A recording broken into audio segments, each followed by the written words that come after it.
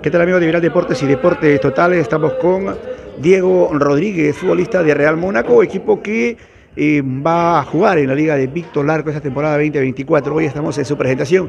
Diego, buenas noches, bienvenido a Viral Deportes. Buenas noches, un gusto estar acá. Diego, cuéntanos un poco respecto a, a esta participación, un nuevo año vistiendo los colores de Real Mónaco. ¿Cuáles son los objetivos que tiene el club? Es campeonar en la Liga Primera llevarnos por unos buenos puntos, tres o más puntos, y a su vez poder estar eh, en la cima de la tabla.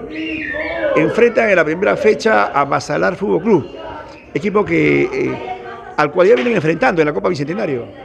Ah, sí, también es un equipo de segunda que acaba de ascender, eh, un buen equipo, esperamos que el partido esté a nuestro favor.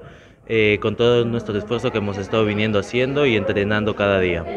Jugar en un campo que no está en muy buen estado, ¿no? Eh, pero esa no es excusa para poder sacar los tres primeros puntos. Sí, bueno, el campo no ayuda mucho. Como entrenamos en sintético, el campo acá nos ayuda bastante a tocar, a diferencia del, del estadio. Pero ahí los chicos y nosotros hemos estado haciendo partidos de prácticas que nos ha ido de bien. ¿Cuántos eh, futbolistas conforman la plantilla de Real Mónaco? Eh, hasta donde tengo entendido vienen 22 personas.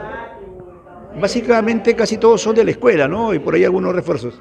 Sí, la mayoría son escuela que han estado entrenando conmigo desde niños y ahora que ya somos jóvenes y un poco más grandes, eh, estamos jugando juntos en primera.